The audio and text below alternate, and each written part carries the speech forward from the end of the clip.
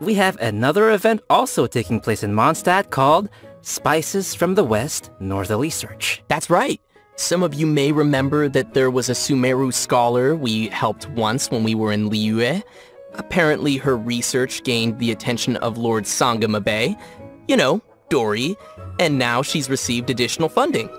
This time, the scholar has come to Mondstadt to find people to assist her research and taste test some special dishes with seasoning. Oh, if she's got Dori's backing, then she should have all the Mora she'll ever need. Ah, that sounds really nice. Uh, so what can we expect this time around? Right, so the gameplay for this event will be pretty similar to last time. After we start creating the seasoning, we'll need to add the ingredients to the pot in the right order by hitting the button as the needle points to the corresponding ingredient. That's gonna destroy my whole brain. However, we have a limited amount of attempts, so we need to add all the required ingredients with as few mistakes as possible. Oh no. More seasoning recipes will gradually unlock throughout the event period. I'm sure this won't be too hard for travelers that are familiar with cooking their own dishes. Oh yeah, I always cook. I cook all the time, yeah. Uh-huh. Sure. I know what you are.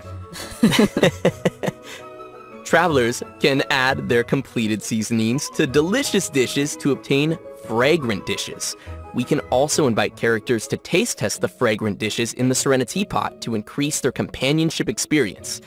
After they taste a dish, we can hear their responses, which will vary based on the character's personal preferences. This will test how well travelers understand each character's personal taste. Oh no, that's gonna hurt my feelings. No, because even if it's a fragrant dish, that doesn't mean that every character is going to like it. Ugh, too much salt.